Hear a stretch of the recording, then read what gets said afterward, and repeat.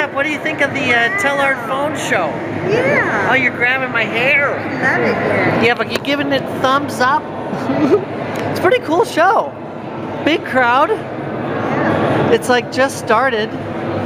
It's given me a couple of New York flashbacks, like the vibration of that reminds me of the, uh, trains and then the stairs. The stairs to the, to the fourth floor.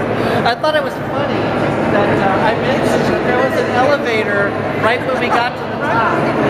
oh yeah, yeah, Dan's taking the elevator.